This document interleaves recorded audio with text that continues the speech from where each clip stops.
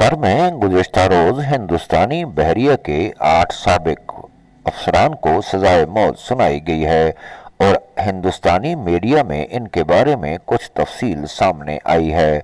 मसलन ये फौजी अफसरान कतर में क्या कर रहे थे और क्यों इनको मौत की सजा सुनाई गई है?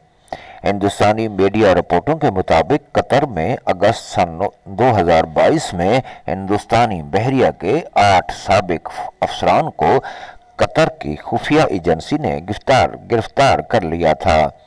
और तब से अब तक वो जेल में ही बंद हैं।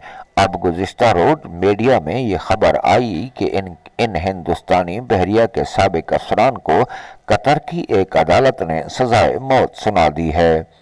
हिंदुस्तानी बहरिया के इन सबक अफसरान पर मीडिया रिपोर्टों के मुताबिक इसराइल के लिए जासूसी करने का इल्ज़ाम है। गुजशत साल इस अल्ज़ाम के तहत इनको जेल में डाल दिया गया था।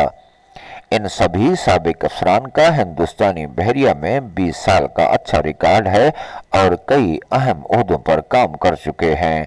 एनडीटीवी के मुताबिक जिन आठ सबक हिंदुस्तानी फौजियों को सजाए मौत सुनाई गई है, वो सभी एक हिंदुस्तानी निजी कंपनी के लिए काम करते थे, जो कतर की मुसल्ह अफवाज को ट्रेनिंग और दीगर सर्विसेज़ फराहम करती थी। इतलात के मुताबिक हिंदुस्तानी बहरिया के ये सबक अफसरान एक बेहद हसास प्रोजेक्ट पर काम कर रहे थे।